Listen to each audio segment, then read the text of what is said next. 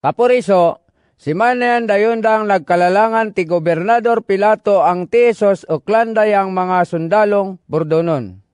Pagkatapos, may mga balagon ang kalarangan, ang ingkula nirang binakurong ang medyo tong korona, tasasang adi ang pagkatapos yara isukluway nira tong kolonisos. Pinablan ka nira taawol ang lagwas, ang tapolyang kulay na ang medyo tong suroton ta mga adi.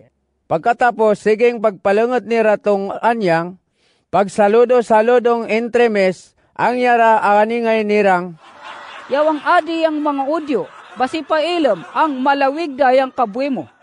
Maganing, tong pagpalungot nira nga tiyatungan niya, muya-muyang dinapala nira. Tano man yan, nagluasi ti Gobernador Pilatong nagpakitalunga tong mga tao nga tiyang gawong. Maganing tong nira.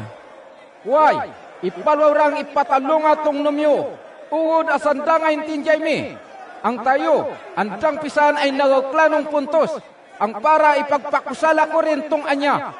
Maganing, pagkatapos dayonara kang ipinalwatisos, ang yag susoklob tong kuluna, yang binakurong nira nga tiyang kalarangan, ang medyo tong korona, egya kag susutay na yang awol ang atyang tapol.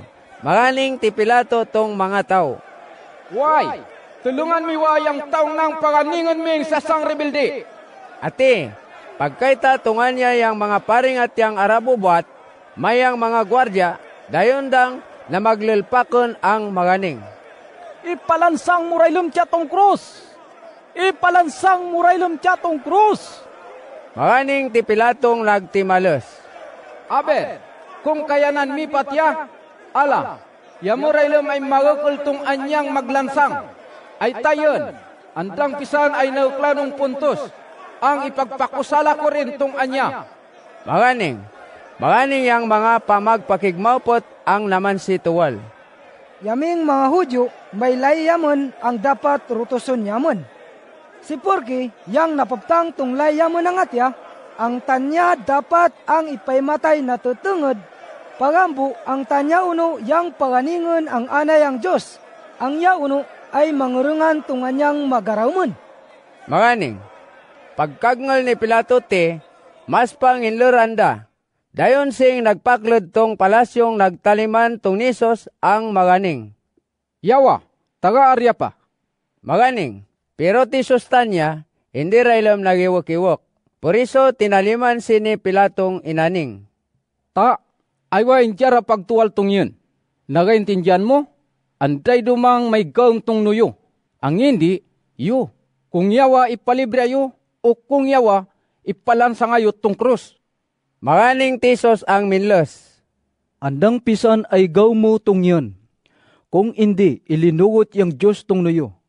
Puriso mas malbat yang kasalanan yang na magintriga tong yun, tatong katalungan mo, kay tong kasalanan mo.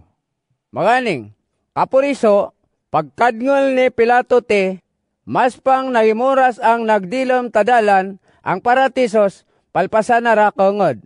Si Manyan, doon tunlua, pagkasiman yang mga pamagpakigmaupot, dayon dang namaglulpakon ang maganing.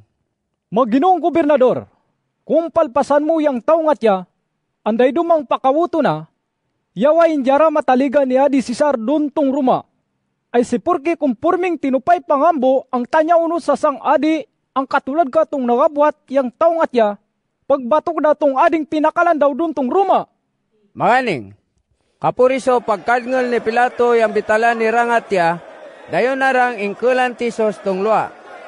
Doon tong may tanok ang dinaktalan tabatong mga tapik, ang pinanambi-tambi.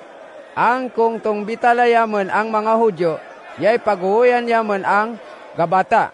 Si Manyan, pagukol na tong nisos doon, diresyurang kuminarong tong sasang kakarungan ang yay dating pagusgarana. Kano man yan, yang kaldaw nga ti, yarakay nagipagsimpan yamon ang mga Hudyo tong pista yamon ang atyang panganingan ng taklib. Yang oras, kurong dayang kaldaw. Numan yan, bakaning city Pilato tong mga pamagpakigmaupot. Why, nanira yang adimi. Maganing, ati, na maglulpakon si tanira ang maganing. Ala, ipay matera, ipalansang datong krus. Maganing ti Pilatong nagtimales. Aywa, yang adimi, gusto ming ipalansang utong cross? Ati, yang mga paringatyang arabubuat ta katungdanan, yaray naman si Tuwal ang maganing. Anday dumang adiyamon, kung hindi, ultimo ilam ti adi Cesar dun tong Roma. Maganing. Por iso, pagkadngol ni Pilato te, nagpayon daylom, tong kalulyagan nira ang para ipalansang datisos tong cross. Por iso, dayon dang ingkulan yang mga sundalo.